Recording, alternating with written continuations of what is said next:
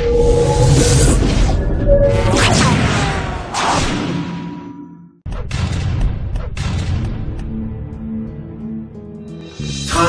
talent, and treasure. This is huge. In week one, Pastor told us that we can master anything that we set out to master if given enough time. Week two, so greatness requires stewardship of both time and talent. Key to this is God has gifted us all, and everybody comes into the world with absolutely everything they need to accomplish what God set before them. If you are not progressing or fulfilling the mandate that God has on your life, the first thing you need to take inventory of is your time. Okay?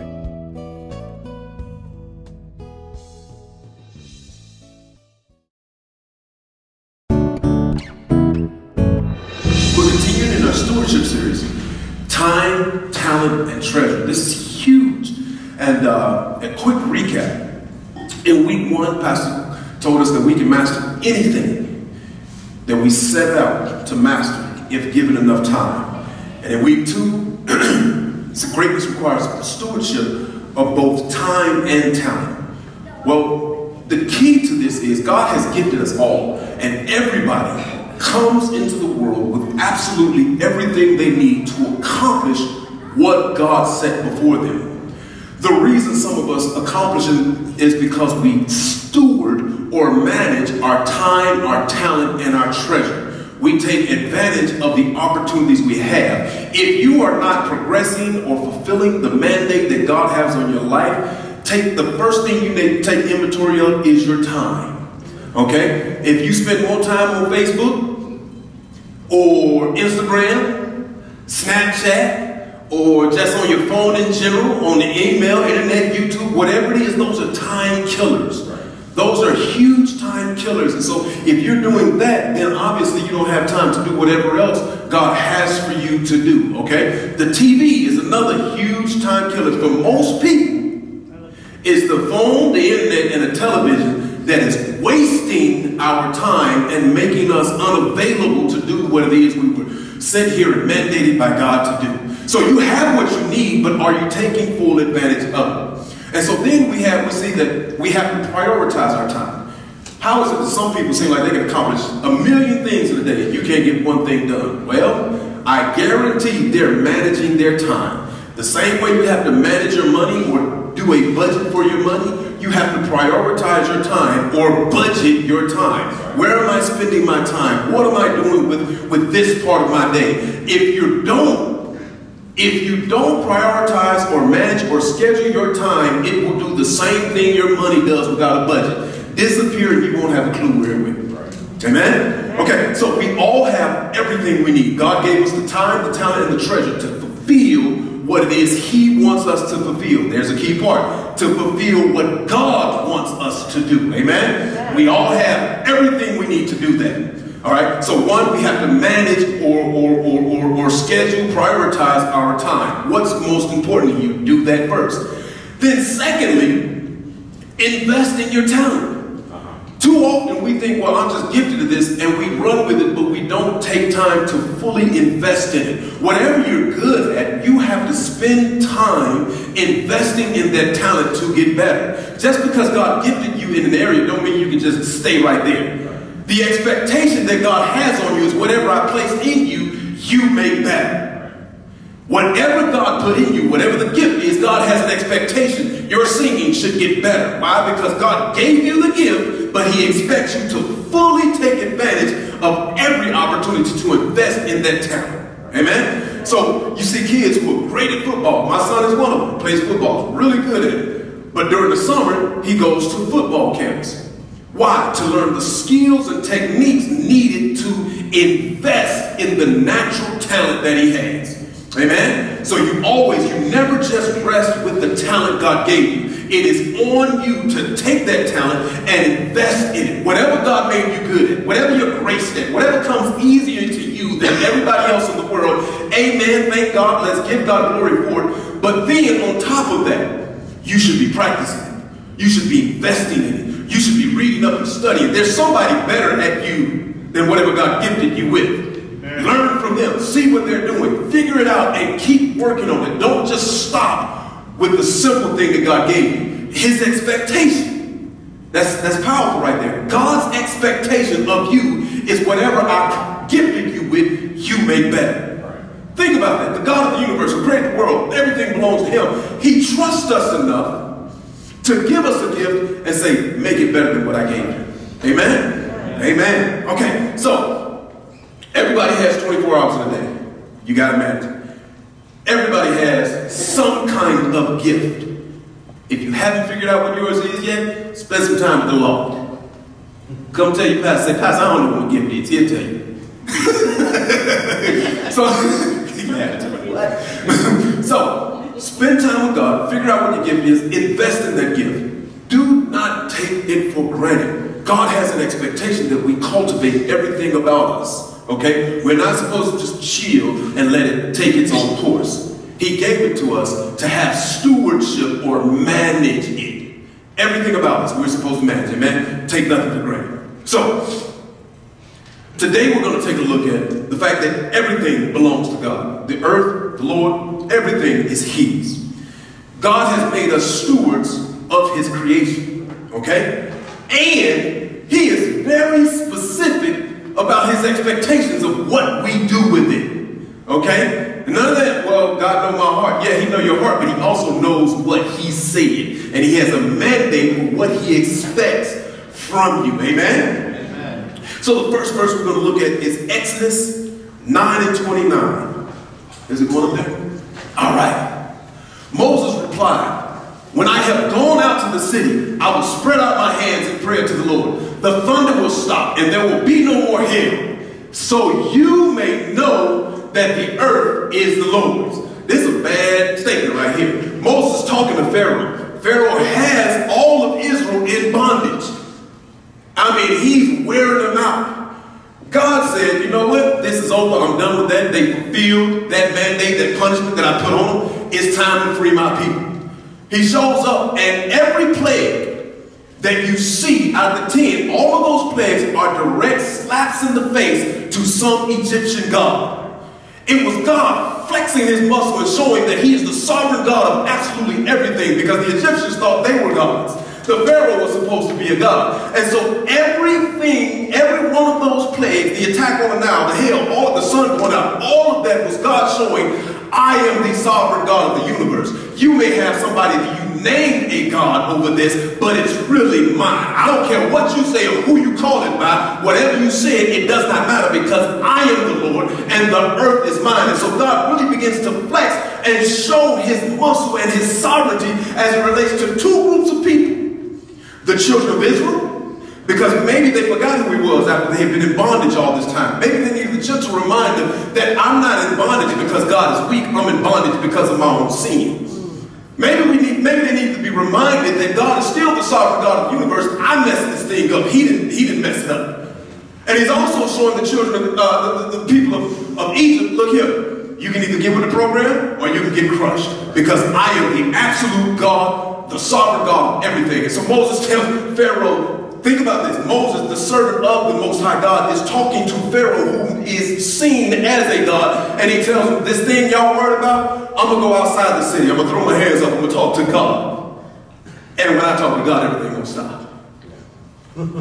everything going to stop. This is God showing that, yo, I don't care how good your situation looks, I am still the sovereign God of the universe. Amen? And so we need to keep that in mind because he runs everything, but he's giving us an opportunity to use that authority that he gave us to manage not only our own lives, but situations around us. Think about that. Moses went out there and said, hell, I need y'all to stop right now. I need it all to stop. Just so God can be identified as the greatest God. Not just one of these pharaohs or something like that. He's showing, he's drawing the lines to show that he is the sovereign God of the universe. And then you go into Deuteronomy 10, 12 through 14. And now Israel, what does the Lord your God ask of you? But to fear the Lord or have reverence in your heart for him, to walk in obedience to him, to love him, to serve the Lord your God with all your heart and with all your soul, and to observe the Lord's commands and decrees that I am giving you today for your own good. That's real powerful. First thing God says is, love me. Don't fear me as in be afraid. Fear me as I am worthy of reverence. He says that. And he says, walk with me, be obedient to me, love me. Serve me with all your heart and your soul, and observe the commands and decrees that I am giving you today for your own good. I'm not doing this just so I can have fun. This is for your own good. My rules are for your good. To the Lord your God belong the heavens, even the highest heavens, the earth, and everything in it. Why should you obey me? Because it's all mine anyway. I run everything. I made you and everything you standing on. That's why you should have a heart of obedience. That's why you can trust me, because I'm in charge. I know than you. Love what I'm saying. Embrace it. That's what God is telling me. And the reason you can do that is because I am God and I have everything under control. Amen? There we go. Now, it's going to get a little tough later on, so y'all can either say amen or ouch, but say something. Psalms 24, 1 through 4 is one of my favorite passages of scripture. The earth is the Lord's and everything in it, the world and all who live in it. For he founded it on the seas and established it on the waters. Who may ascend to the mountain of the Lord? Who may stand in his holy place? The one who has clean hands and a pure heart, who does not trust in an idol or swear by a false God. Whose world is this? The earth is the Lord's and everything in it. There are times when people seem so contrary to God that we forget He is still in control. There are times when things seem like they're out of God's control. There are times when things seem questionable, like, God, what are you doing? Or how did you allow this? And we forget that people aren't actually choosing to, to revolt against God, that He still has under control. They may be being disobedient. I said that wrong. They may be being disobedient. They may be revolting against God, but it is still under his authority. There are still limits and boundaries set. They may act a fool, but even the foolishness is set within boundaries. This is still God's word. And so even when we look at what's going on in the world around us, so we, we get worried about this and we get worried about that, when you think about that, I need you to remember these five words. God has everything under control. Amen. This is his word. And it's never outside of his authority. It may seem like it at times, but remember, baby, God has everything under control. And the reason we have to hold on to this so much is because knowing that He is the sovereign God of the universe increases my faith. Because then I can be obedient and not worry about the results because God, them on you. Them on you, Lord. I don't have to sweat that. That's on you. And if it don't work out the way you said, then we got a real problem. Amen? So, 1 Corinthians 10 and 26, Paul re-establishes this point. For the earth is the Lord's. He literally quotes Psalm 24 there. For the earth is the Lord's and everything in it. Amen? So, now we see that everything is God's. Next kicker. God gave authority and responsibility for everything to who? Who? Say me. Let's not just use man. Say me. God gave authority and responsibility to 15 to me. It is my responsibility to, to, to live a life pleasing to God. It is my responsibility to manage everything that He placed in me the way God desires me to do it. It is my responsibility to understand that all this is God's. And if I am His child, a direct heir to everything, then it is my responsibility to be a good steward over it. I can't walk through life and walk around looking as if nothing matters or as long as my little block is good, I'm good. No, no, no, no, baby. I am a child of the king and he owns everything. And so now it is on me to manage everything the way God said. Amen? So Numbers 28, 1 through 2, it says, God gave, oh, I'm sorry, Numbers 28, 1 through 2. The Lord said to Moses, Give these instructions to the people of Israel. Here we go to the ouch part. Give these instructions to the people of Israel. The offerings you present as special gifts are pleasing, are a pleasing aroma to me. They are my food. Think about that. The offering, the, the time, the talent, the treasure that you purposely set apart to render back to God as an offering, they are pleasing Him. It is an aroma. And an aroma is like worship. It smells good in the very nostrils of God. So it's one thing to lift your hands and say, Oh God, I love you and thank you for loving us the way you do. It's a totally different thing to begin to walk life out in a way that shows that I trust God. That's worship too. Surrendering your time, your talent, and treasure to God with a heart that says, You gave it to me and you deserve it back and I'm going to give you the very best of myself back to you. It's just as much worship as saying, oh God, I love you. Amen? And so he says, it's pleasing to me. It's my food. See to it, watch this now, that they are brought at the appointed times and offered according to my instructions. oh, here's where God gets like, yeah, I'm God, and I gave you everything, and when you give it back to me, I want you to bring it in a certain way. If you continue to read in this passage, you'll see that there, God gave specifics for a daily offering. He's expecting a daily offering from you. A weekly offering at the gathering time. Church is offering time, y'all. yeah. Monthly and special service offerings.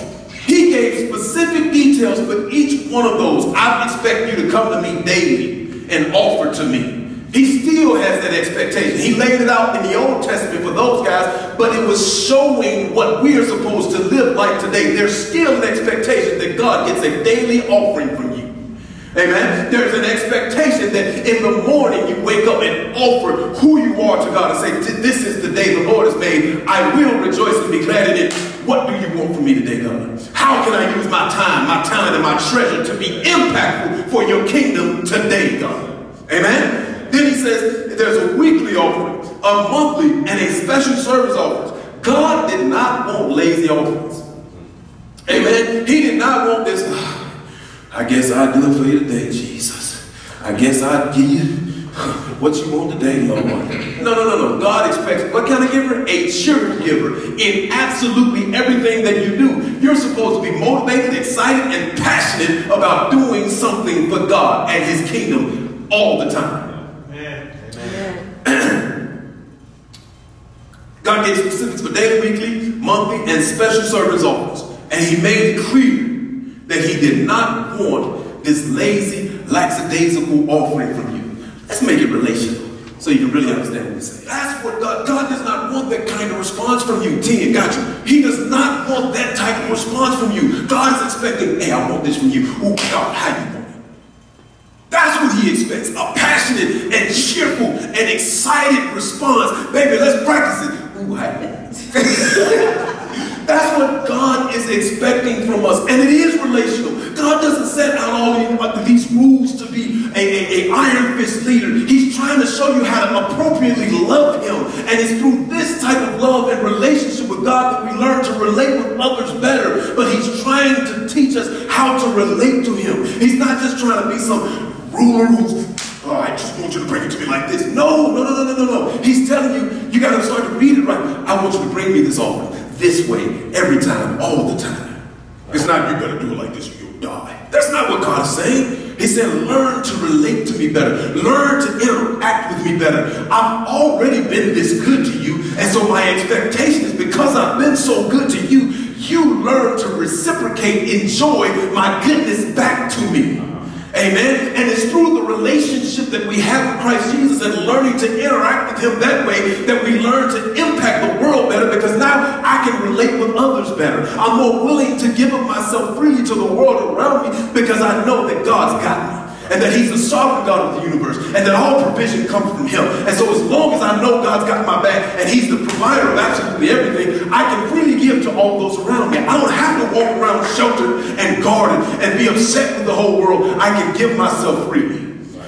Not based on their response, based on pleasing God. Amen? Amen. We got to get out of here. So it's in Exodus.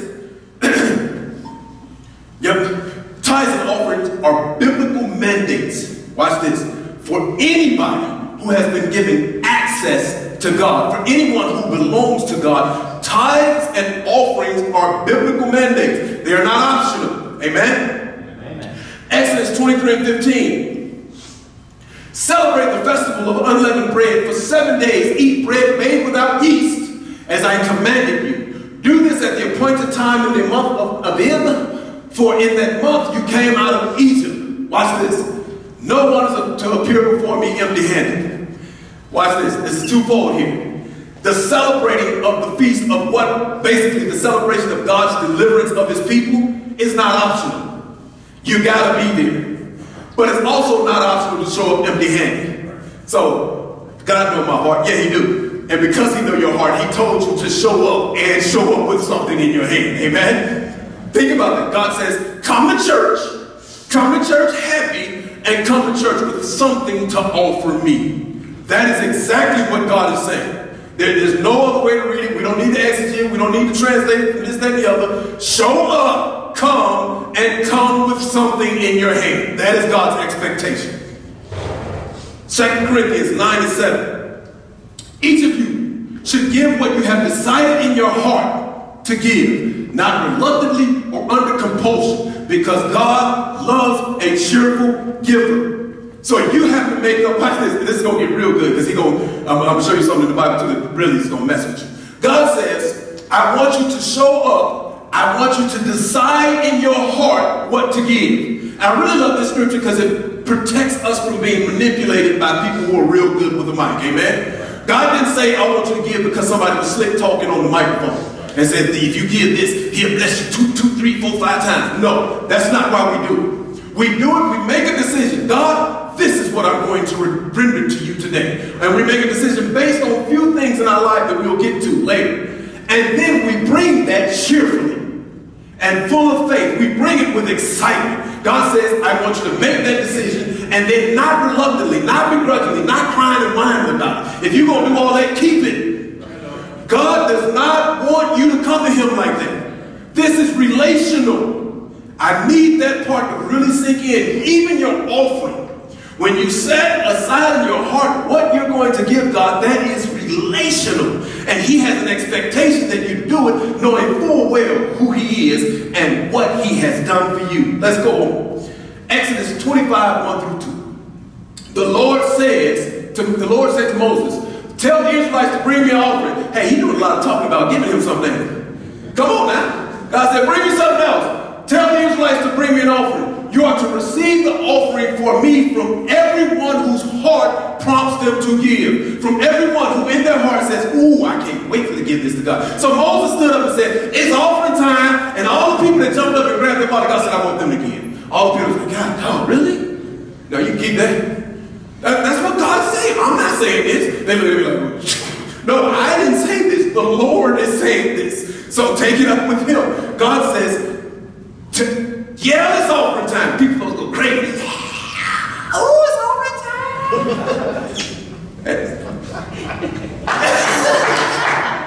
oh, it's offering time. And then we're supposed to get excited to bring God what we've already set aside in our heart to give. So offering should not be something you think about at church.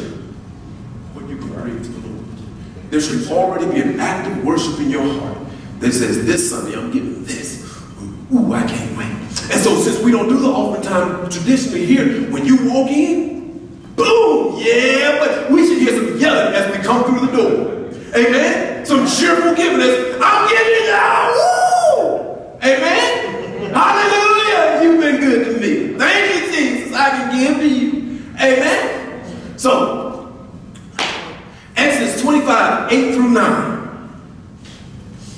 Then have them make a sanctuary for me and I will dwell among them. Make this tabernacle and all its furnishings exactly like the pattern I will show you. Two things, two things, two things. They had to give for a sanctuary. A meeting place required giving, even in the Old Testament. Even in the Old Testament. As Champions moves into this next level where we get into our own building, that's going to take giving.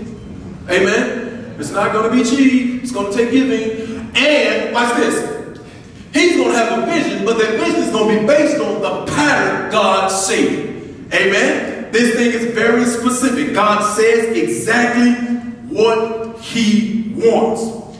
Exodus 40 and 6.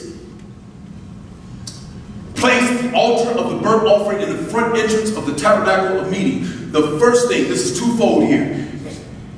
The first thing, I wish we had the picture up there, but we don't have it right now. But the first thing is as you, as you walk in, there is a altar uh, of, sacrifice. Now, it served two purposes. It was an altar of sin sacrifice, burnt sacrifice to cover for sin, but it was also an offering place where you just gave a gift. Amen? So it served both purposes. Now, when you look at it from God's point of view, if you look at the altar, the tabernacle from God's point of view, it shows first the Ark of the Covenant, then you look on the, on the left and right, you got the table show bread, the uh, candlestick, Jesus, and the Holy Spirit. Then you got the altar, the, the incense, where that was represented the prayers of worship, and then it went on out. to the laver, where you wash and cleanse yourself. And then finally, there was a, a, a, place of sacrifice or a place where Jesus is our sacrifice. We don't have to kill animals anymore. So Jesus, that's done. Okay? So we don't have to worry about that. But that's from God's point of view. From our point of view, the first thing you do when you walk in is give an offering. The first thing you do when you show up to meet God is lay down an offering. And we're going to close with this right here. Deuteronomy 16, 16 through 17. Go ahead, read it loud. Every year, every man in Israel must celebrate these three festivals. Stop right there. Every year, every man in Israel must celebrate these three festivals. Every year, every man must celebrate celebrate these three festivals. Again, God is making a demand on when you show up. Every year, every man must celebrate. Not it's optional. Hey, you kind of show up if you want to. I'm cool with it either which way. How's your schedule? No, God said be there every year. Go ahead. The festival of unleavened bread. Uh-huh. The festival of harvest. Okay. And the festival of shelters. The festival of unleavened bread, which was a celebration of the deliverance that God provided for them leaving Egypt. When they left Egypt, God said, don't put no yeast in the bread because you got to hurry up. All right, so you're going to have to hurry up and leave. So don't put yeast in the bread. That's the Feast of Unleavened Bread. It was celebrating the deliverance that God had provided for them. I want you to always remember and show up for the festival of your deliverance. We should never forget the moment God saved us. Amen? That's, that's the practical application today. But when we look at it from there, God said, listen, never forget, always celebrate the day I came and saved your table. Amen? Then there was the feast of, what was it called? Festival of Harvest. The Festival of Harvest. This recognizes the provision of God in our lives, okay? And so there were two this also known as the Feast of Weeks because it was seven weeks after the uh, first fruit barley. This was the first fruit of the wheat harvest. So it's still technically another first fruits. Now that was real good because what they did with this right here, Pastor, is they had bread, right? And they couldn't burn this bread because this bread had yeast in it. And you cannot burn yeasted bread on the uh, altar. And so what they would do is offer what's called a wave offering. They would wave it back and forth and forward to back. And then, watch this, it's first fruit, right? First fruits, keep that in mind. It was the first part of the harvest. It was an increase that came into their household. And they would offer a wave offering. And then once they were done with it, they would leave it there for the priest. I told y'all say amen out one or the other. out to do. So, now, after that is the feast of what? Festival of Shelters. Festival of Shelters. So we had this where we celebrated our deliverance. Sean, wake up. We had this where we celebrated our deliverance. Then we had where we celebrated the increase and provision in our income. And then there was the Feast of Shelters where they went outside and left their homes, left the comfort of their homes, and they had a huge party. This was one of the biggest parties in Israel. You got to understand. This is not some sad event. They are jamming for Jesus. They are getting it in. This is a huge party. And one of the things they're celebrating is, uh, is, is, is the provision and the protection and the covering of God while they were in the wilderness. Because you remember in the wilderness, stuff didn't wear out. Shoes last longer. Y'all know y'all had some time before you had money, uh, uh, before your money was longer than your month, when your month was longer than your money, how God used to keep you. They were remembering those times.